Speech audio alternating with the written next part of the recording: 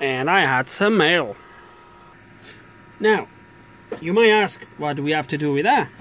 Well, if this is what I think it is, it's gonna be a EEPROM that was sent to me by one of my followers and good friend of mine uh, which he was struggling to read this so he sent it to me for me to read it uh, and um, I know it's not the kind of videos I usually do but I just thought you know why not in this occasion so let's kind of get more into details what chip this is etc etc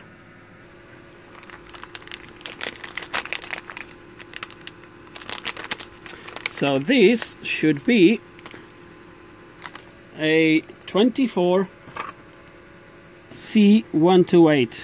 Let's gonna just confirm that. Actually, let's gonna give it a good clean first. And I will show you how we're gonna watch this.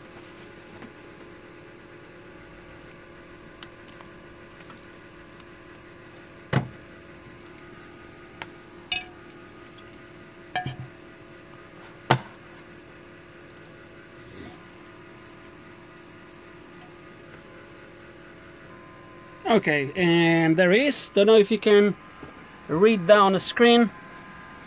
So 4S128. So you can't really see very good, but I can definitely see it.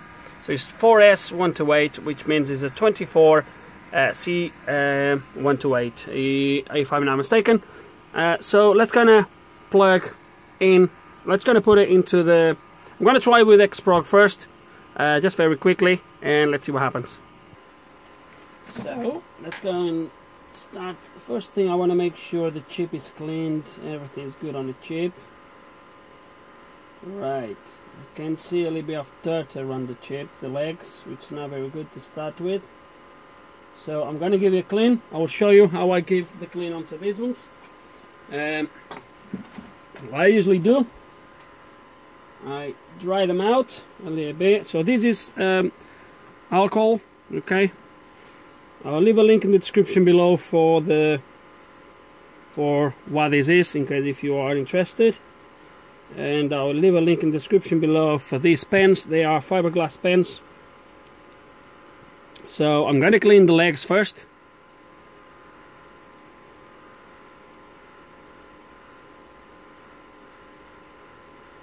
Then on the other side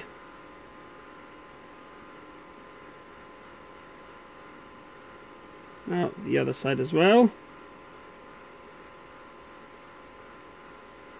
this side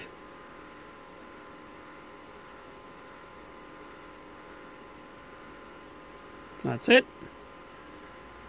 now we are going to wash the chip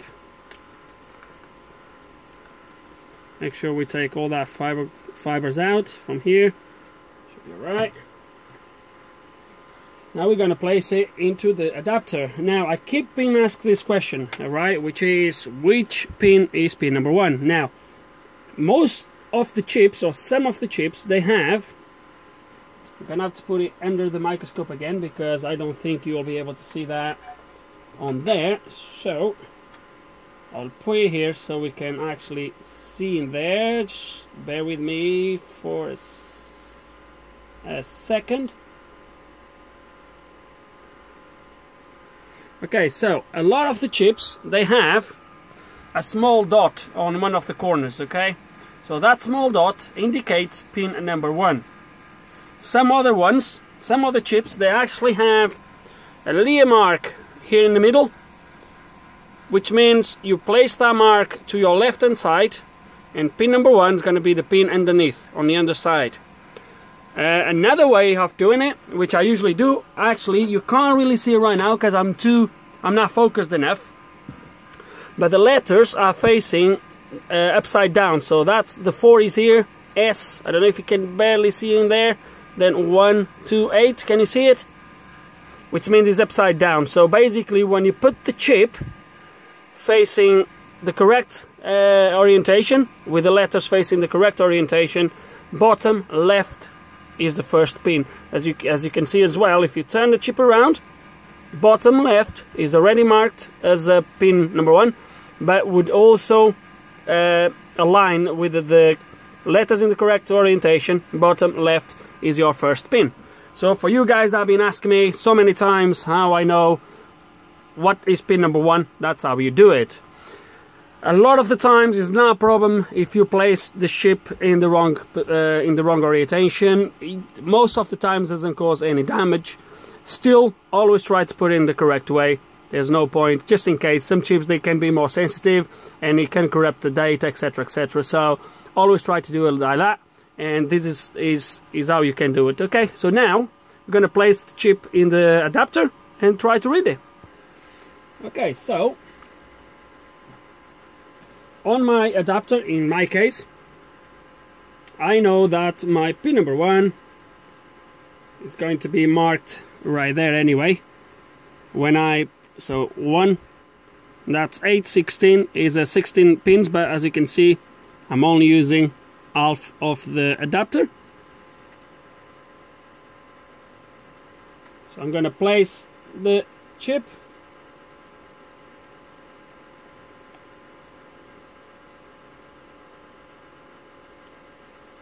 One of the things I've noticed on this chip he sent me is that the there is a little bit of solder on the underside of the legs.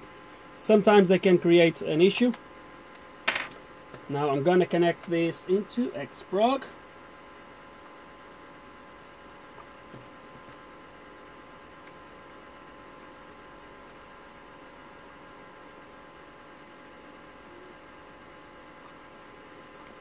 And now it's gonna open Xprog, obviously. So, it's gonna select our chip, which is a serial EEPROM, and it's gonna be it's gonna be a microchip 24. I think it's gonna be a, a microchip, maybe not. Hold on, guys unless it's that one in there. Sometimes it works in there. I'm not sure if this is an ST because it doesn't say as nothing so let's try to read this as a microchip just there. Yeah there's no ATs just it's gonna be that one in there. Microchips 24C128 okay. It's gonna do that. It's already in place. It's gonna try to read it there we go. Now, for you uh, guys interested, I believe this is um, EEPROM from a uh, Vauxhall radio, something like that. Just gonna check the device.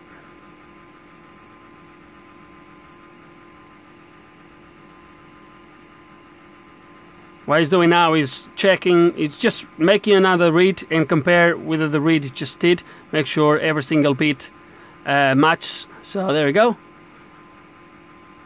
So uh, I don't know what it is. Uh, I think it's from a radio. Not really sure what radio it is. I'm gonna have to ask for details. Um, uh, okay I think this is gonna be my VIN number for the car because I think these radios are programmed to the VIN number. There's not a lot of data to be honest with you on this.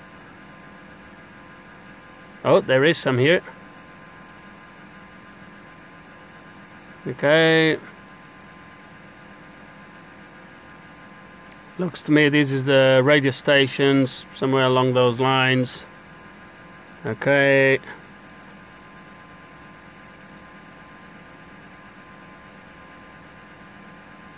So that's it.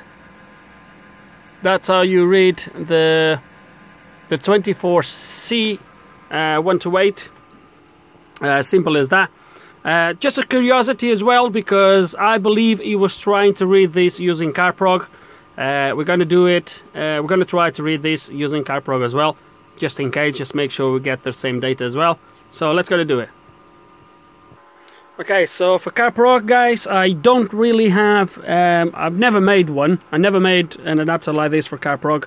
So I'm going to use the pliers. I don't really like to use these pliers, but what I usually do is, because um, I don't like to read stuff in circuit, so, and these pliers are intent for that so what I do is I just put the chip like that upside down okay pin number one in my case in the car is marked with a white um, uh, shrink tubing in there. So they are all black except one that is white.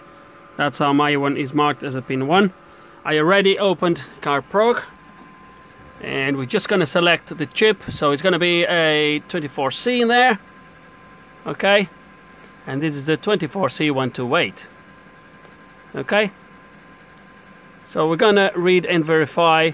I'm not gonna write the chip so I don't need to write nothing there.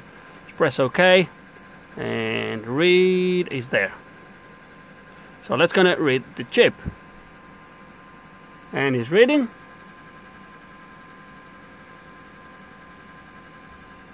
So let him to do the job.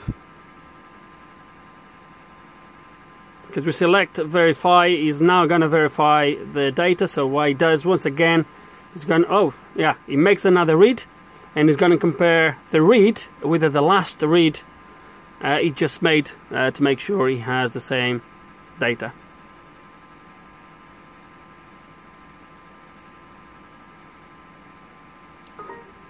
verify is okay, which means my reading is good.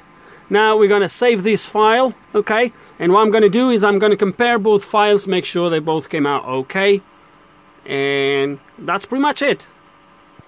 Okay, and this is the software I use, X comparison. And as you can see straight away, there's no difference. Uh, when you have difference, they come up here straight away, because as you open the files, um, it detects the difference and they come up here and then you can uh, press these buttons and move across the difference. Still uh, when there is difference they are highlighted in green. I'm just gonna scroll synchronization and I'm gonna scroll from top to bottom and you're gonna see no greens no green blocks comes up as you can see all the same so both reads are exact the same and I think that's it for this video, really. I don't know how interesting you guys are going to think uh, this will be. I never covered something like that before, I think. I did many PROM reading, etc, etc, but never took you through this sort of detail. Um, and um, and that, that's it, really. Um, I'm going to try to help him uh, with these, uh, the data in this EEPROM, because I think he wants to put this radio on a different car and the radio doesn't work because I think the radio, this radio, this particular radio is linked to the car uh, where is initial programmed uh, through the VIN number if I'm not mistaken so I'm going to try to, to give him a hand with that but this was purely to show you the read and writing of in this case a 24C 128 same applies to any EEPROM like this uh, is, is, is the same thing guys it's no difference to uh, what I've done here um, and as I said, yeah, I'm gonna leave uh, in the description below some links to the hardware, maybe these adapters. These adapter guys, I did them myself. If you have an X-Prog, you know your X-Prog you will come. Hold on a sec. Hold on a second. Yeah, you will come with one of these adapters, but not with this blue bit at the top. Okay, uh, so this is for you to solder the chip straight into this little PCB.